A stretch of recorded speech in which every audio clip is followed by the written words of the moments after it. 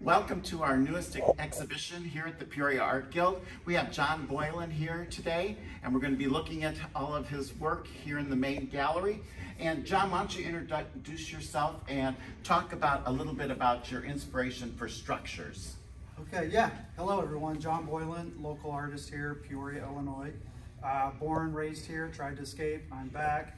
Um, have a show called Structures. Um, really, the inspiration about this show in particular was trying to get away from some of my more comedic elements and funny things I do and get to something really baseline that everybody knows and sees every day buildings, etc., structures, if you will.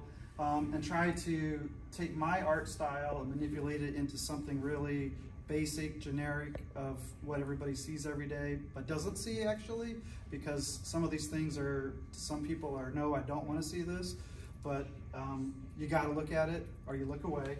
Um, and most of the structures are, some things are, are very simple and yes. straightforward, like a house. And yes. then some of them are buildings that are not so great, that right. we remember in their prime, but now they look a little bit different. Um, and we do reference that in each one of the um, yeah. pieces that you do. Yeah. Now here, this let's start with this one because I think this is interesting because you start with an image yes. and explain how you do that. And then in this case, we've added some um, some found some objects. found objects. Yep, yes, yep, best exactly. way to put it. Yeah. So this is actually, um, and a lot of the work in this show, um, I'd say maybe half of it is actually our buildings, houses, or things in the Peoria, Central Illinois area.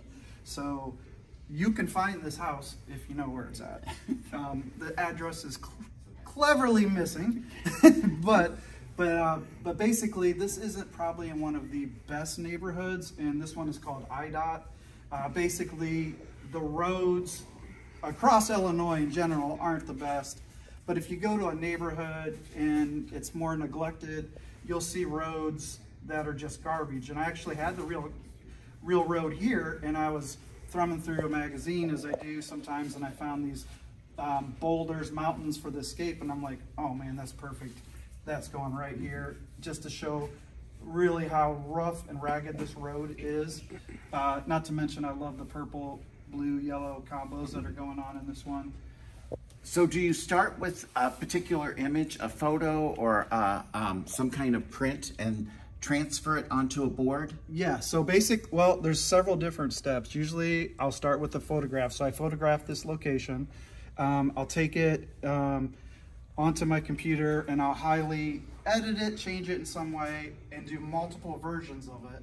And I'll paint, I'll kind of get an idea where it's gonna go. I'll paint, I'll paint the uh, canvas in certain ways. I'll then transfer one of the images on there.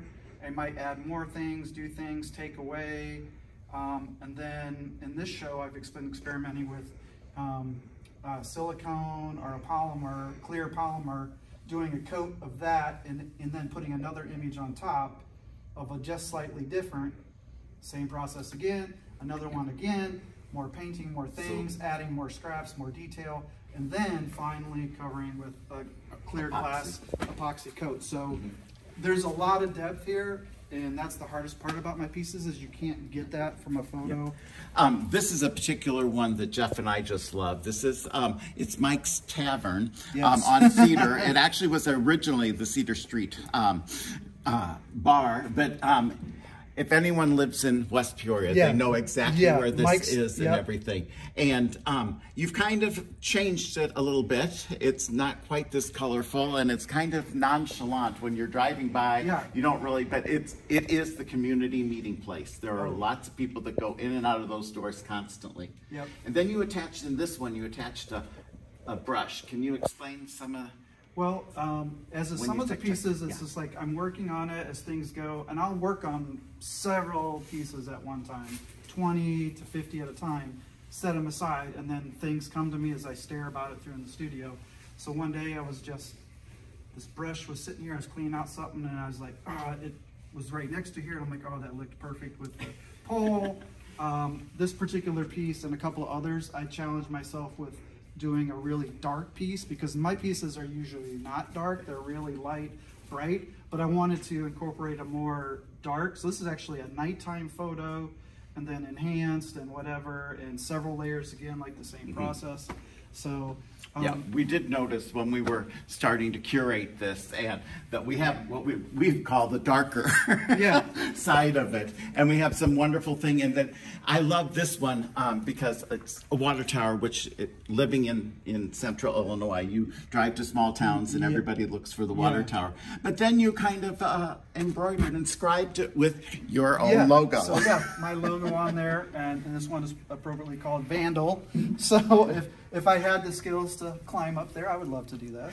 Um, this actually, this piece could be anywhere in Middle America, but this is actually in a little town in Nebraska. When I was driving, and it just caught my eye one day about a year ago when I was driving through there. And do you use like a, the camera as your sketchbook to Um, remind, give you reminders yeah. of what, how you, um, what you can use, your Yeah. arsenal of, of Yeah, I that have you can do? I have a tremendous amount of photog- photos. I'd say like sixty thousand. These two we paired together because Yeah. it seems like they could be in the same area because the skies are the same, the street seems to be the same, everything. I just love this mid-century um, modern kind of um, architecture against this very traditional. Um, Both And if Peoria anybody has gone locations. downtown, down um, Farmington Road, Yep. they will recognize this Yep. um, tavern. Yep, this is, was quite the, the spot when I was uh, a young kid and maybe my parents too, I don't know. But that was uh, the, quite the spot. I think, I don't even know what it's named now, to be I, honest. to be honest, I don't either. It was um, Cy Maroons, I believe, originally. So, and then this here, I don't want to give away all the secrets, but this, we'll just say is the Mr. Donut when we were kids. So, definitely And not then- a Mr. And then Donut I today. like what you did with this one is that you Yes. literally have um, texture, but I mean it's not. It, you put did the not texture cover it. over, Yeah. and you did not make it because it. They see if you come in person and see these um, works, the resin makes them very, very smooth and almost perfect. exactly. And here you disrupted this this lower part with this. With, I don't know if that actually cinders or what. I mean, it looks I like it, but- have a ton of different rocks, debris, just garbage in my studio that I collect for cer- certain reasons where I find like, oh, that can go there. So, Um, and this was our announcement card, and I love this. This is just, to me, this is like a row Yep, house yep, um, up row in houses. Chicago, someplace like you that, with these those, uh, wonderful buildings. And you, again, you lightened up the palette a little bit here, and so it's much, much more colorful.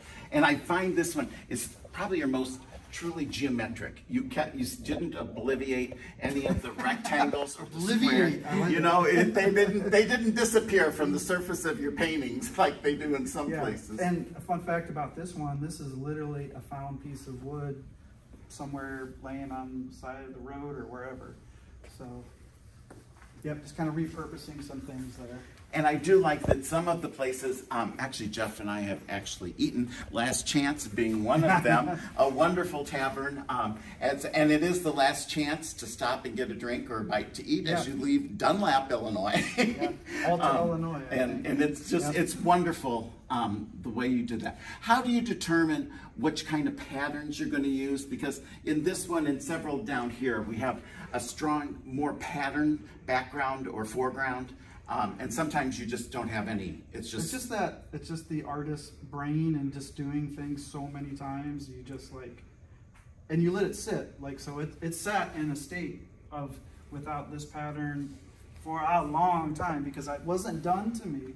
So I just had to wait till something tricked me into thinking, how do I resolve this? And so I was probably working on something else, probably spray painting with this pinkish color on something else, and I'm like, okay. and then this one has a little bit of a um, There's a lot of uh, social um, statement here, and this is um, you. You don't want to be my neighbor. And we have just a regular old ranch um, house that we have, like Rolling Acres has numerous of these. But underground, you're really getting in your- close. in your in your basement, um, I see you've um, hidden some of your literally Yeah. skeletons. Yes, definitely, definitely some trash trash bags full of stuff down there.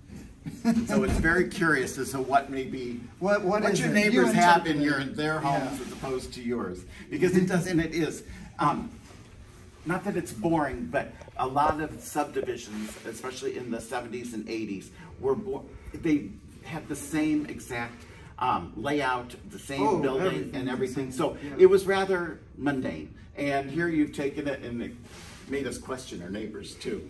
Um, and I love this one because it, and you do a lot of graphics, you do a lot of IT stuff, and here we have signs, nothing but signs, and you put them all together.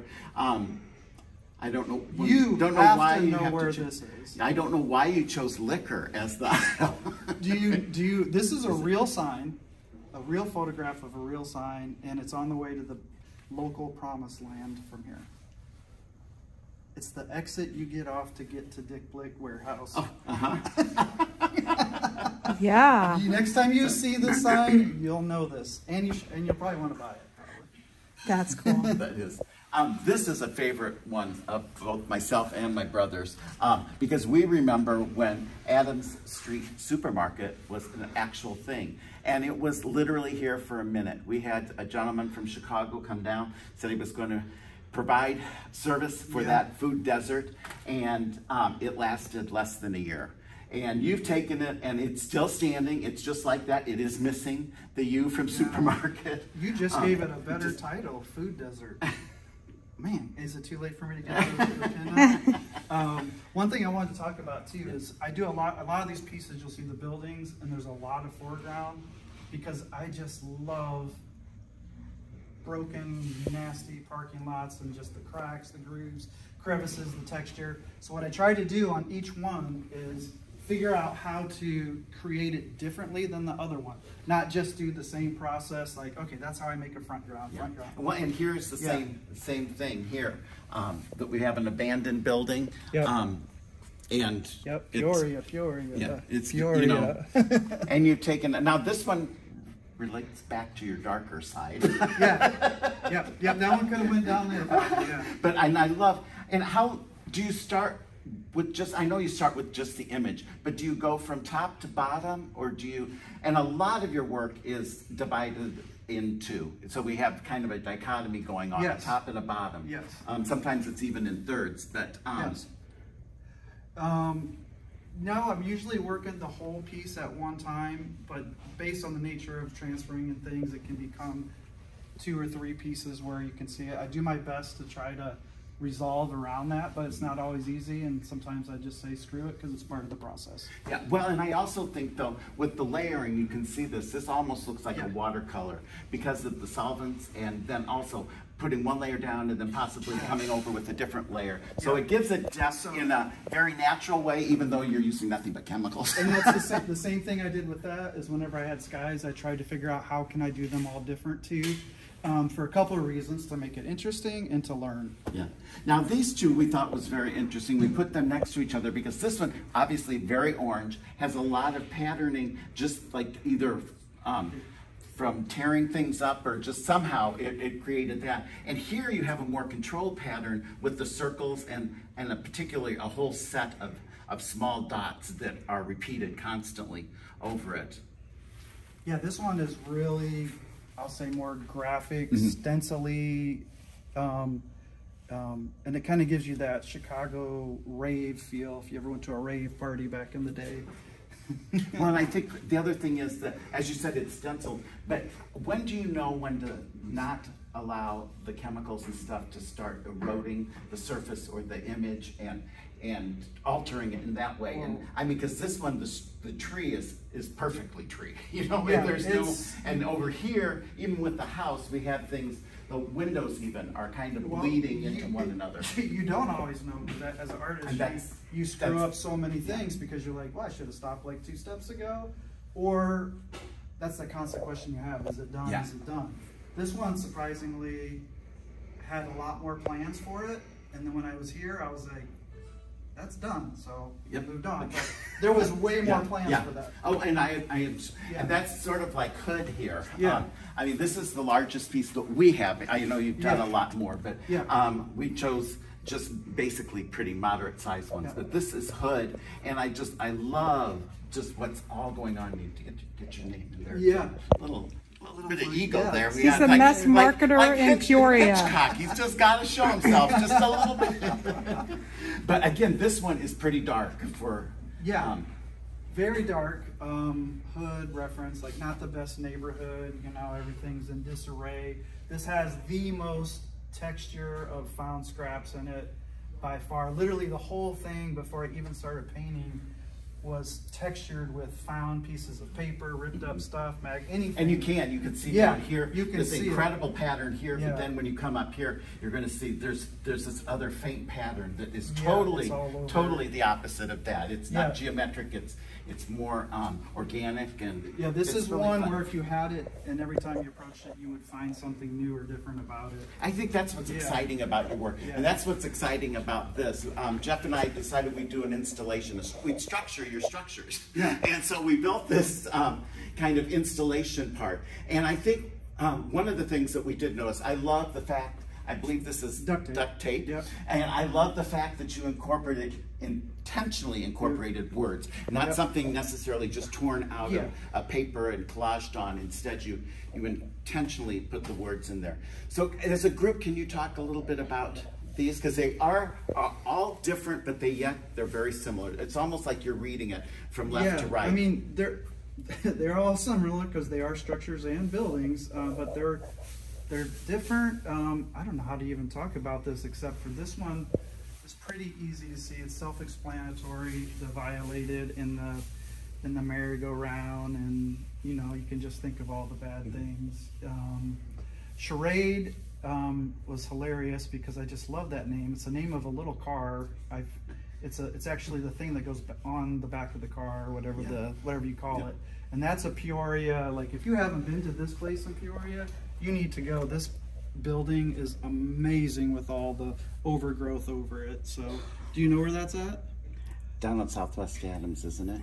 Or- Yes. Yeah. Yeah. Mhm. Right across from the infamous um, Cookie Mural. Monster. Yeah. Yeah. Oh, that's and right. then, and then this one this truly reflection. is. This Yeah. one truly is. Was a construction site in Peoria, so we're just yeah, take this the isn't picture too far down the road where this was. Literally, I one night I was like, "See, to me that's beautiful." I get Oh, out it is and I see the, u- the the colors. I'm like, all the oranges and the whites, and I'm like, "Oh." Well, I think And I- so I'm the guy getting out see- uh, at the stoplight, Yeah. like taking a picture of that. But I think But you. the best element here was I was sitting here, and uh, you know, while I was looking at this and resolving things, I have this little deep sea uh, guy down Oh, in look at the in, the in the water down there, and I just thought I'd love to hide a few things in my paintings here and there.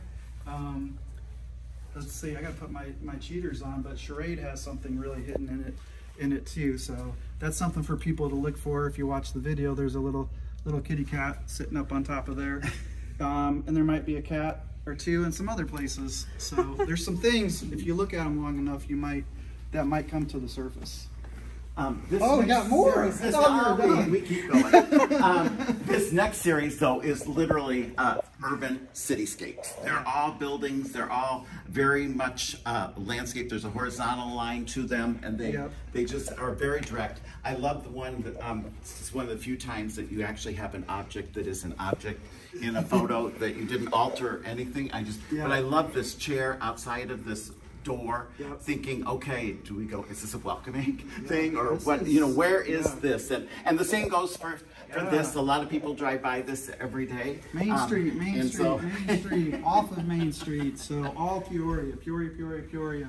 Uh, this, these, these few were my attempt at not going far with my process and Yep. staying very intentionally like, gen, not generic, but I don't want to say contemporary, but more just the least amount Yeah. to get across. well and there's the obvious collaging too you didn't Yeah.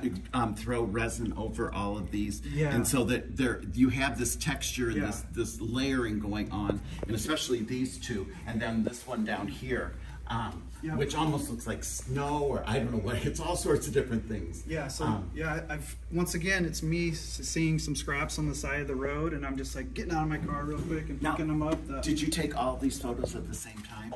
Mm, maybe not. No. Okay. no. I I just wondered if while you're in a neighborhood, Yeah. if you just, uh, you know, go crazy and take uh, a slew of pictures so that you have an art, you know, Yeah. that little. And the interesting part about these two is this is found wood that I specifically chose because it had these beautiful rust patterns on where at one time it had been belted to, as a shipment. Mm-hmm. Same with this one, it was just belted right, so I tried to work around all that. This one has it in there, although it's hard to see, has the same rust thing, so they were all found pieces of wood.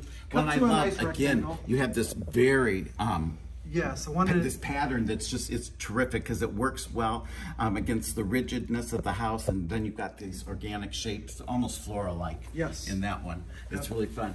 And then this last series, um, I think are your most heavily collaged or assembled pieces. We have everything from um, weather fencing Yes. to we have broken glass, we have a tree, a stick from a tree, and then we have this moss that's um, created uh, what in this case it's um, overgrown Yes, bushes. we yes, have the definitely. tree. There's literally a tree with not so real grass, but that's okay. And we have the gl- glass. This one, um, you put so much onto it that the house almost becomes secondary. That you really, I mean, it just draws you yeah, to to that yeah. piece. That was just right me mixing all the elements and things.